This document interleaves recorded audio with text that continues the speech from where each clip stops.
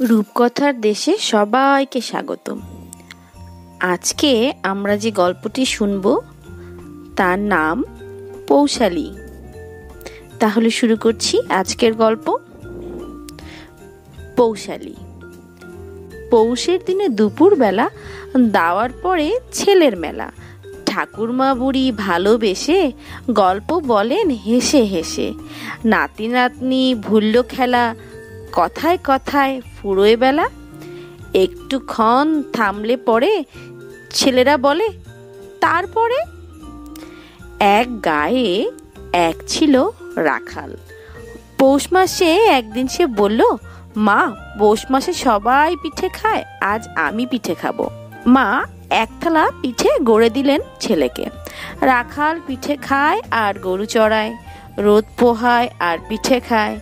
দুপুরে রবি আকাশের গায়ে ঢলে পড়ল। রোদ ফুরালো, আধার ঘনিয়ে এলো। তখনও রাখালের একখানি পিঠে খেতে বাকি।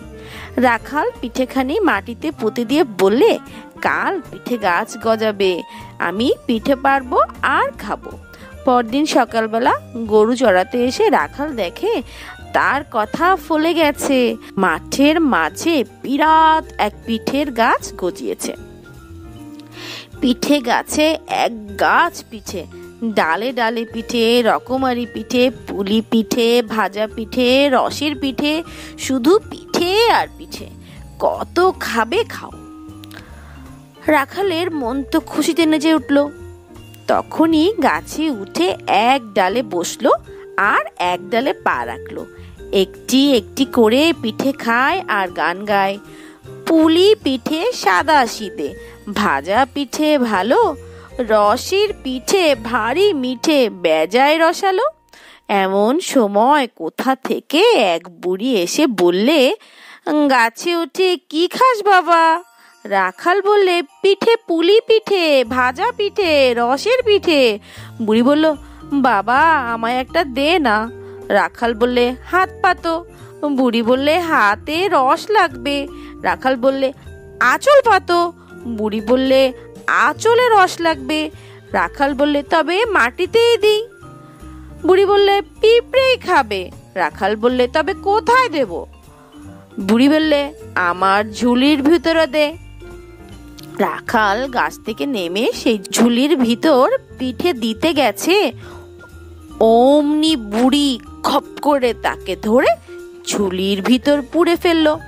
তারপর ঝুলি কাঁধে ফেলে বুড়ি চলল মাঠ ভেঙে।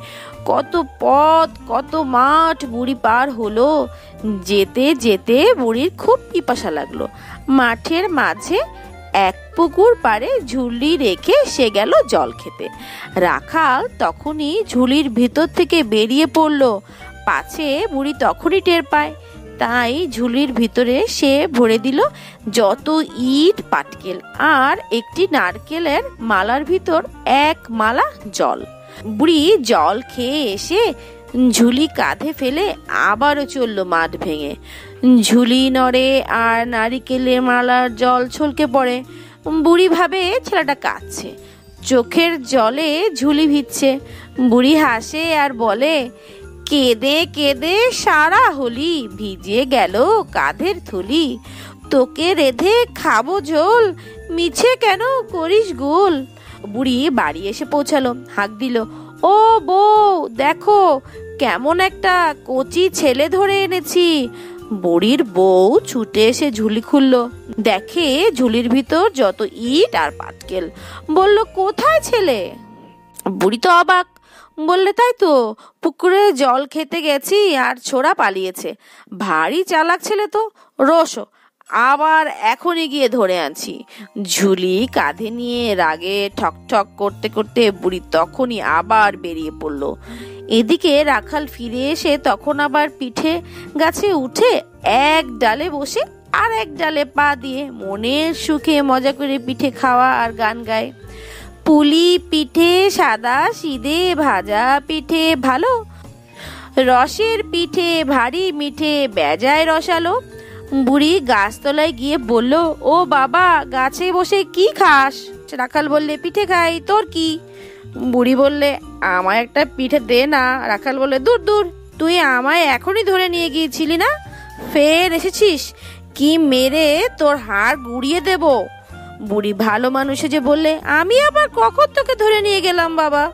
রাখাল বললে, এই তো একটু আগে। বুড়ি বললে, না বাবা, সে আমি না, সে আর কেউ। দে বাবা, আমায় একখানা পিঠে দে অনেক দিন পিঠে খাইনি। রাখাল বললে, তবে হাত পাত। বুড়ি বলল, না বাবা, হাতে রস লাগবে। রাখাল বললে, তবে আঁচল পাতো। বুড়ি বলল, না বাবা, আঁচলে রস লাগবে। রাখাল বললে, তবে মাটিতে দিই। বুড়ি বললে, না বাবা, পিঁপড়ে খাবে। রাখাল বললে, তবে কোথায় দেব?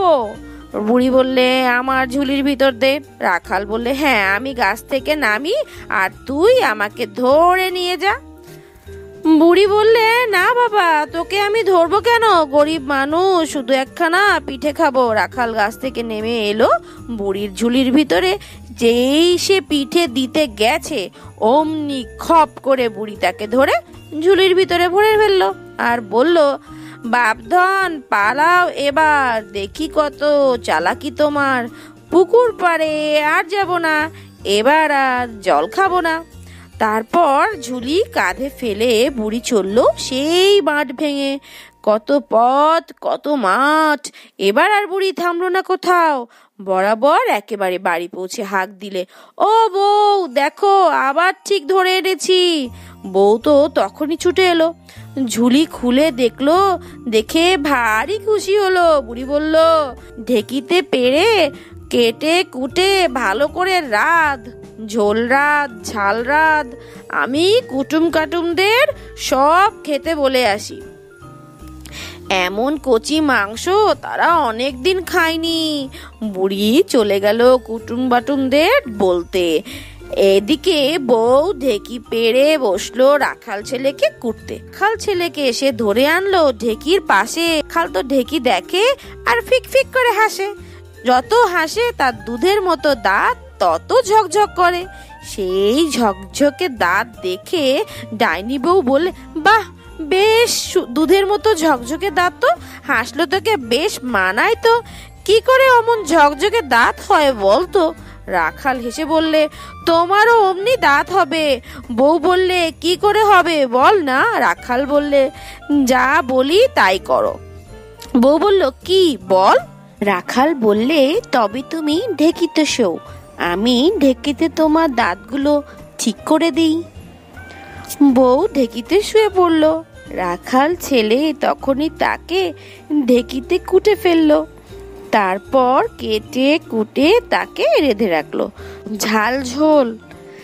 তারপর ডাইনি বইয়ের কাপড় পরে বইয়ের গয়না গায়ে দিয়ে, মাথায় ঘোমটা দিয়ে ঘরের কোণে বউ সেজে বসে রইল। এদিকে বুড়ি তো কুটুম বাটুমদের ডেকে আনলো রাখালের মুখে তখন এক মুখ ঘোমটা, মুখ দেখা যায় না। বুড়ি বললে, কি বউ রাধা হয়েছে? রাখাল বললে, হয়েছে, ঝাল রেঁধেছি, ঝোল রেঁধেছি। বুড়ি বললে, তাহলে এবার ঠাই করে দে খেতে। আমরা খেতে বসি। রাখাল ঠাই করল এক মুখ ঘোমটা দিয়ে। কুটুম বাটুম সবাইকে বসিয়ে পরিবেশন করে খাওয়ালো। বুড়ি বললে, বউ, এবার তুই খা। রাখাল বললে, আগে পুকুর থেকে একটা ডুব দিয়ে আসি। রাখাল ছেলে পুকুরে গেল। পুকুর তো নয়, খুব বড় এক দিঘি। সাঁতরে রাখাল ওপারে গিয়ে উঠল। তারপর গায়ের গয়নাগুলো খুলে পোটলা বাঁধলো। বেঁধে পুকুর পাড় থেকে হাঁক দিলে ও বুড়ি, ও ডাইনি বুড়ি, বলি, ও রাক্ষসে বুড়ি। ডাক শুনে ডাইনি বুড়ি ছুটে এলো দিঘির ধারে।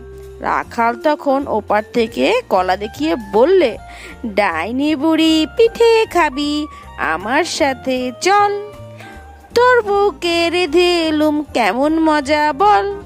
বুড়ি তো হাও চাও করে উঠল, বলল, ধর ধর, মার মার। রাখাল বললে, এবার আমার মাঠে যাবি, কেমন মজা টের পাবি।